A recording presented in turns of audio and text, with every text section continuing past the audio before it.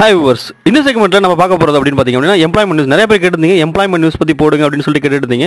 So அதனால் அப்படி பார்த்தீங்கன்னா எம்ப்ளாய்மெண்ட் நியூஸ் என்னன்றதை நான் சொல்ல போகிறேன் உங்களுக்கு. ஸோ டைட்டில் பார்த்தோன்னே நிறைய பேர் தெரிஞ்சிருக்கும். எழுத படிக்க தெரிந்தவர்களுக்கும் ரூபாய் பதினாயிரத்தி எழுநூறு அரசு வேலை அப்படின்னு சொல்லி போட்டுருந்துச்சு. ஸோ அதனால தான் உங்கள்கிட்ட ஷேர் பண்ணலான்னு பார்த்தேன். எங்கே அப்படின்னு பார்த்தீங்கன்னா பெரம்பலூர் கோர்ட்டில் தமிழ்நாடு நீதி அமைச்சு பணி அப்படின்னு சொல்லிட்டு தமிழ்நாடு அடிப்படை பணியில் நிறைய பார்த்தீங்கன்னா ஒரு கிட்டத்தட்ட ஒரு சிக்ஸ்டி டூ போஸ்டிங் ஃப்ரீயாக இருக்குது வேகன்சி இருக்குன்னு சொல்லியிருக்காங்க. அறுபத்தி ரெண்டு போஸ்டிங் இருக்குன்னு சொல்லியிருக்காங்க.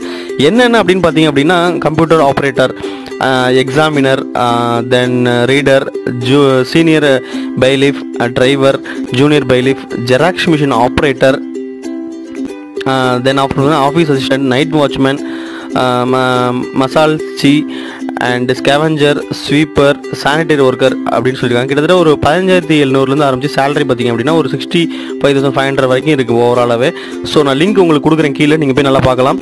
ஸோ அதை இதோட லாஸ்ட் டேட் என்னைக்கு அப்படின்னு சொல்லியிருக்காங்க twenty first of this month ஜனவரி இருபத்தி ஒன்றாந்தேதிக்குள்ள அப்ளை பண்ணி சொல்லியிருக்காங்க. என்ன முடிச்சிருக்கணும் அப்படின்னு பார்த்தீங்க அப்படின்னா கணினி துறையில் இளங்கலை பட்டிருக்கும் பெற்றிருக்க வேண்டும் அப்படின்னு சொல்லியிருக்காங்க. பிஏ பிகாம் பிஎஸ்சி முடிச்சவங்க டிப்ளமோ கம்ப்யூட்டர் அப்ளிகேஷன் படிச்சவங்கலாம் வந்து விண்ணப்பிக்கலாம் அப்படின்னு சொல்லியிருக்காங்க. பத்தாம் வகுப்பு தேர்ச்சி பெற்றவர்கள் எட்டாம் வகுப்பு தேர்ச்சி பெற்றவர்கள் ஓட்டுநர் உரிமை வச்சிருக்கவங்க பண்ணலாம்னு சொல்லியிருக்காங்க. சிக்ஸ் மந்த் எக்ஸ்பீரியன்ஸ் வந்து ஜெராக்ஸ் மிஷின் ஆப்ரேட்டர் மட்டும் கேட்டிருக்காங்க எக்ஸ்ட்ரா ஸோ ஏஜ் ஃபேக்டர் அப்படின்னு பார்த்தீங்க அப்படின்னா ஏஜ் ஃபேக்டர் பொது பிரிவினருக்கு முப்பதும் பிசி எம்பிசிக்கு பார்த்தீங்கன்னா தேர்ட்டி டூவும் எஸ்சி எஸ்டிக்கு முப்பத்தஞ்சும் இருக்கணும்னு சொல்லியிருக்காங்க.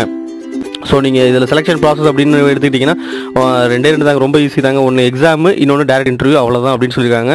ஸோ லிங்க் நான் கீழே கொடுக்குறேன். எந்த அந்த லிங்க் நீங்கள் கிளிக் பண்ணிவிட்டு நீங்கள் அப்ளை பண்ணுங்கள் அப்ளை பண்ணிட்டு நீங்கள் அனுப்ப வேண்டிய அட்ரஸ் பார்த்தீங்கன்னா அதையும் உங்களுக்கு கீழே சொல்கிறேன் நான். ஏன்னா அப்ளை பண்ணுங்கள் நீங்கள் நல்லபடியாக வெற்றி பெறுன்னு சொல்லிட்டு நம்ம சேனல் சார்பாக விஷ் பண்ணிக்கிறேன். இன்னொரு நல்ல ஒரு எம்ப்ளாய்மெண்ட் நியூஸோட நம்ம நாளைக்கு சந்திப்போம். Bye guys